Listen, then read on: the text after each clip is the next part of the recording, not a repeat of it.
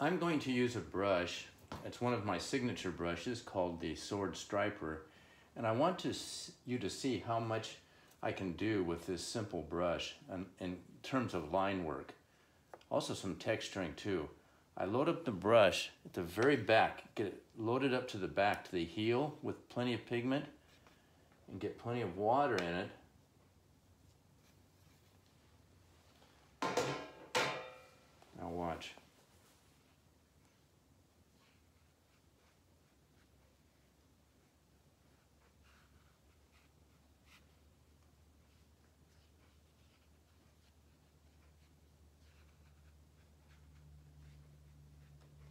You can see with just one loaded brush, I can do a complete tree.